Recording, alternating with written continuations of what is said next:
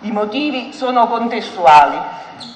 In nome del popolo italiano, il Tribunale, visto l'articolo 533 del Codice di procedura penale, dichiara Alberico Gambino colpevole del reato a lui ascritto al capo A, limitatamente all'assunzione di Fisichella, e al reato di violenza privata, così riqualificato. Il reato a lui ascritto al capo B della rubrica del decreto di giudizio immediato dell'11-1-2012, avvinti dalla continuazione,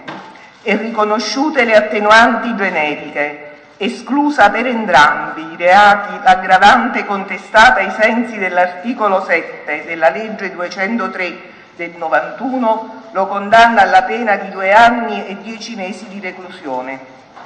Visto l'articolo 533 del Codice di procedura penale, dichiara Giuseppe Santilli colpevole del reato a lui ascritto al capo A della rubrica del decreto che dispone il giudizio dell'11-1-2012, limitatamente all'assunzione del Fisichella e riconosciute le attenuanti generiche, esclusa l'aggravante contestata ai sensi dell'articolo 7 della legge 203 del 91, lo condanna alla pena di due anni e otto mesi di reclusione. Visto l'articolo 535 del Codice di procedura penale, condanna Alberico Gambino e Giuseppe Santilli al pagamento ciascuno per la propria parte delle spese processuali e di custodia cautelare, visti gli articoli 317 bis e 28 del Codice penale, dichiara Alberico Gambino e Giuseppe Santilli interdetti per un anno dai pubblici uffici. Visto l'articolo 538 del Codice di procedura penale, condanna Alberico Gambino e Giuseppe Santilli al risarcimento in solido dei danni morali da loro cagionati alla costituita parte civile Americo Panico, nato a Nocera Inferiore il 2-6-1971, che liquida equitativamente in 3.000 euro da versarsi al fondo di beneficenza in memoria del dottor Nicola Casotti e del danno non patrimoniale cagionato alla costituita parte civile comune di Pagani che liquida equitativamente in 5.000 euro visto l'articolo 541 del Codice di procedura penale, condanna Alberico Gambino e Giuseppe Santilli in solido alla diffusione delle spese di costituzione in giudizio delle parti civili Americo Panico e Comune di Pagani, che liquida in 4.500 euro, oltre accessori di legge se dovuti, in favore di ciascuna delle predette parti civili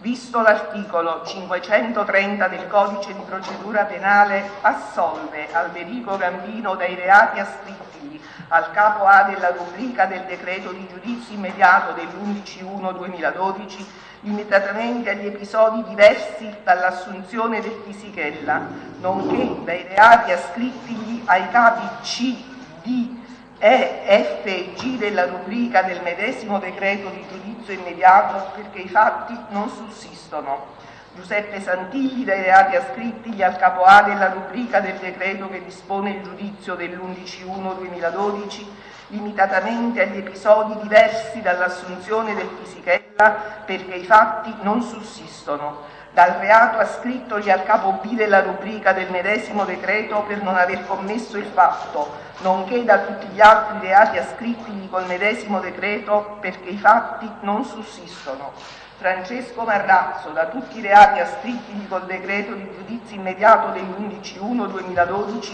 perché i fatti non sussistono. Giovanni Barone, Antonio Dauria Petrosino, Michele Dauria Petrosino, Giovanni De Palma, Antonio Fisichella, Giovanni Pandocchi Elettrico e Massimo Quaratino dei reati loro ascritti al capo A della rubrica del decreto che dispone il giudizio dell'11-1-2012 limitatamente all'assunzione del Fisichella per non aver commesso il fatto, per tutti gli altri episodi del medesimo capo perché i fatti non sussistono, dal reato loro ascritto al capo B della rubrica del medesimo decreto per non aver commesso il fatto e dagli altri reati loro ascritti col medesimo decreto perché i fatti non sussistono Raffaele Trapani da tutti i reati a lui ascritto col decreto che dispone il giudizio degli 11-1-2012 perché i fatti non sussistono.